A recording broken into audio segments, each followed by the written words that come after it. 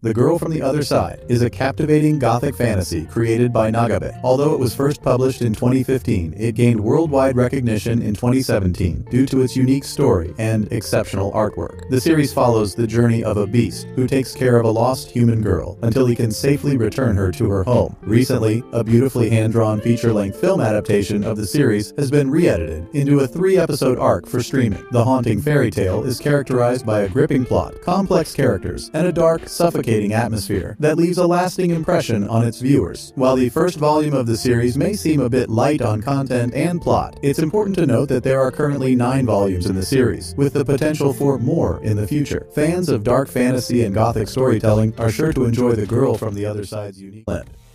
Lycoris Recoil was a surprise hit of the 2022 summer anime season, offering a unique blend of action and character development. The anime's original story and characters made it stand out in a sea of adaptations, and its focus on a group of female assassins and spies brought a fresh perspective to the action genre. The dynamic between Chisato and Takina was a driving force of the series, as they both navigated their complicated roles in the Lycoris agency and formed a bond through their shared experiences. The action scenes were expertly choreographed choreographed and visually stunning, adding to the show's appeal. Overall, Lycoris Recoil was a standout anime of 2022 and a testament to the potential of original anime productions. Its engaging characters, exciting action, and unique premise make it a must-watch for fans of the Bocchi the Rock is a must-see anime based on Aki Hamaji's ongoing manga series from Manga Time Kirara Max, launched in 2017. The anime, produced by Cloverworks, centers on Hitori Bocchi Goto, a socially anxious girl who dreams of being in a band. Despite her online fame, Hitori struggles with interpersonal communication, but when she gets the chance to perform with a band that lacks a guitarist, her life changes forever. Bocchi the Rock explores Hitori's attempts to step out of her comfort zone and the surreal fantasies she experiences along the way. Although music brings the girls together, the anime spends most of its time exploring the characters' personalities off stage. It is a coming-of-age comedy that follows Hitori's journey to become the person she wants to be, with all of her failures and triumphs making her story all the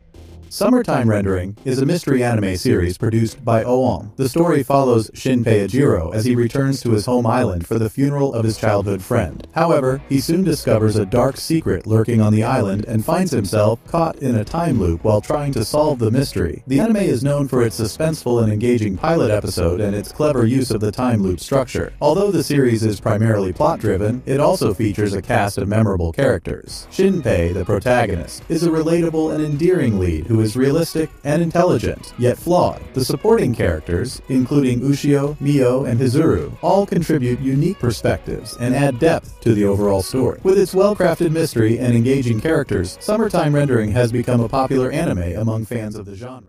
The hottest anime genre right now seems to be psychological thrillers that revolve around terrifying games, and Tomodachi Game is a prime example of this trend. This anime series is based on a manga that has been serialized in Bessatsu Shonen magazine since 2013. The story revolves around Yuichi Katagiri, a high school student who values friendship over profit. When the school trip funds are stolen, he and his four classmates are kidnapped and invited to participate in the Tomodachi Game, a game that reveals their true characters. Tomodachi Game is an exciting and crazy anime that is dedicated to one thing, entertainment. The show's setup and presentation is reminiscent of the hit series Squid Game, as both shows feature characters trying to expose and break the game by snooping around the organization behind it. However, Tomodachi Game first being released in 2013. If you enjoy psychological thrillers with a focus on gaming and mind-bending plot twists, then Tomodachi Little Children is a rare six-episode anime series that tells the story of five young heroes who try to survive a disaster while navigating through a space station. With its crisp animation style, colorful world, and cute characters, the series was released on Netflix in January 2022 and received great reviews from viewers. The series was created by Mitsuo Iso, an experienced animator known for his work on classic anime. The Orbital Children is his first new story in over 15 years, so it was well worth the wait. Set in 2045, the story follows a group of children who embark on a sponsored visit to meet the last surviving child born in space. However, things take a turn for the worse when an unexpected comet hits the space station, leaving the children stranded. The orbital children then follows their journey to stay alive, using their surroundings to survive. Despite the dire situation, the story remains entertaining as the children discover new ways to operate their space equipment, and viewers quickly become